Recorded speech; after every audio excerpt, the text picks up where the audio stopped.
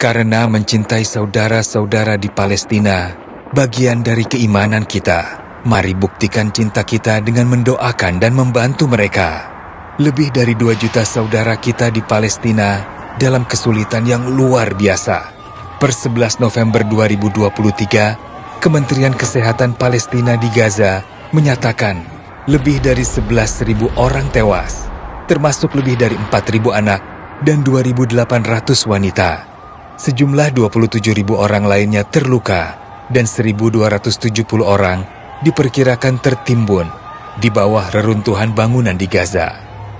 Di tepi barat Palestina, korban tewas mencapai 186 orang. Lebih 2.100 orang terluka, serta 1.900 orang ditahan oleh Zionis penjajah. Terbuka kesempatan meringankan kesulitan mereka dengan mengirimkan sedekah terbaik kita melalui Las Muhajir yang bekerja sama dengan Basnas. Insya Allah, pengiriman bantuan kemanusiaan ke Gaza, Palestina akan berkoordinasi dengan pemerintah Republik Indonesia. Semoga Allah menguatkan keimanan kita dengan kebajikan ini.